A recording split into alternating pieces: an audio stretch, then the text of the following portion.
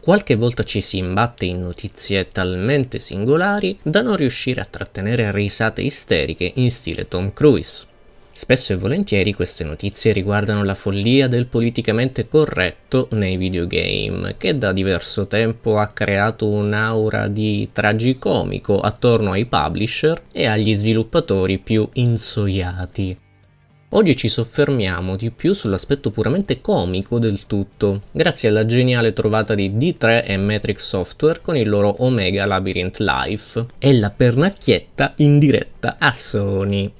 Il gioco, previsto per il prossimo agosto in Giappone su Switch e PS4, avrà infatti una versione apposita per proteggere i bambini e i guerrieri sociali su PlayStation. Parlare di censura è poco, si tratta effettivamente di un gioco sostanzialmente diverso rispetto alla controparte Switch. Gematsu ha riportato una tabella in lingua comprensibile con tutte le differenze e alcune sono effettivamente da premio Oscar per l'illogicità, Qui abbiamo raccolto quelle più interessanti, date un'occhiata. Quindi su Switch abbiamo illustrazioni normali, che sono presenti anche in versione PS4, ma sulla console Nintendo ci sono anche le Oppai Appuraiseru, che letteralmente vuol dire valutazione tette, Oppai vuol dire tette. E Full Bloom Break, ok.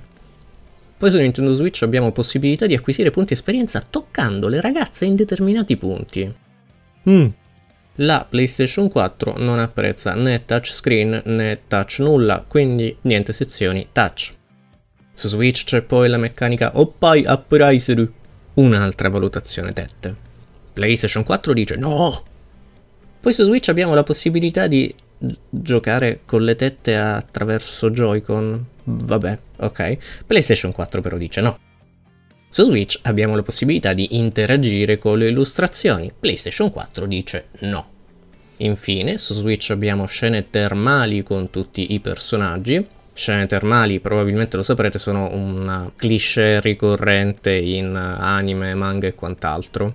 Su PlayStation 4 hanno ben pensato di sfruttare la maggiore potenza di calcolo della console per offrire più vapore e nebbia volumetrica in maniera tale da coprire il copribile.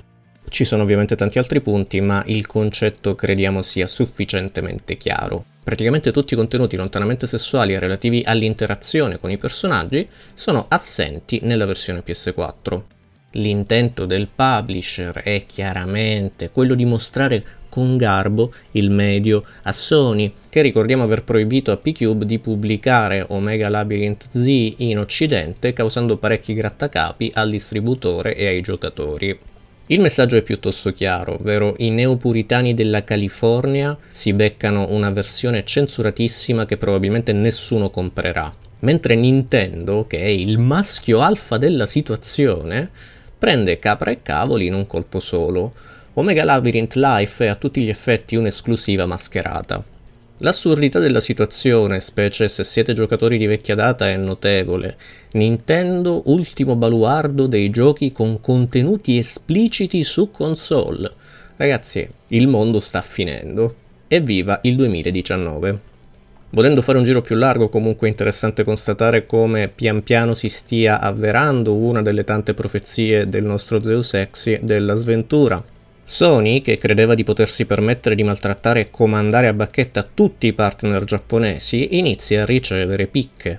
Le censure dettate dal politicamente corretto non sono viste di buon occhio nel sollevante, anzi la maggior parte dei giocatori le osteggia a merluzzo duro. Se c'è una cosa che non bisogna toccare ai giapponesi è il fanservice in anime, manga e videogiochi. Loro sono buoni, cari ed educati, ma se gli togli le tette virtuali diventano bestie. Omega Labyrinth Life sta mandando un messaggio chiarissimo. Non a caso le lamentele si sono sollevate anche in modo pesante sui social e Sony è stata addirittura costretta a giustificarsi dando la colpa al movimento Me Too e altre cagate del genere. Nintendo, che scema non è, ha colto la palla al balzo, accogliendo sotto la sua ala centinaia di sviluppatori, indipendenti o meno, in rotta di collisione con Sony. Il fanservice ha un mercato abbastanza forte, alla gente piacciono i contenuti sessuali e le tematiche suggestive, negarlo significa rifiutare la realtà dei fatti. E se la concorrenza rinuncia a sfruttare una fonte cospicua di guadagno, sarebbe da stupidi lasciarsi scappare l'occasione.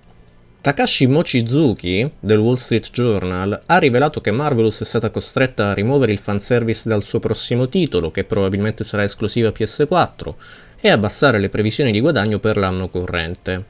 Marvelous, per chi non ricordasse, è il publisher di Senran Kagura, una serie recentemente nell'occhio delle censure, a tal punto da costringere il direttore, Kenichiro Takaki, alle dimissioni.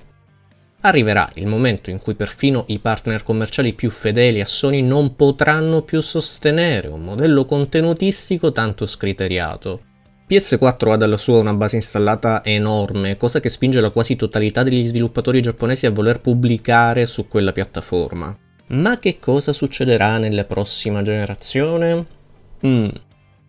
Attualmente Switch ha già superato le vendite di PS4 in Giappone e non è un dato insignificante. Mettiamoci anche il fatto che PS5 avrà un prezzo probabilmente sopra le aspettative e senza il supporto dei giapponesi le esclusive degne di questo nome mancheranno all'appello. Non ci saranno più Bloodborne, Persona, Nier e tutti i system seller dell'attuale generazione, molti dei quali è tra l'altro possibile reperire o emulare su PC. Adesso ci sono Days Gone, Predator e il gioco dello scoiattolo volante. E niente raga, fa già ridere così. Buona fortuna Sony. Ok ragazzi, per questo video è tutto, come al solito vi invito a condividere, lasciare un like e iscrivervi al canale e noi ci risentiamo alla prossima.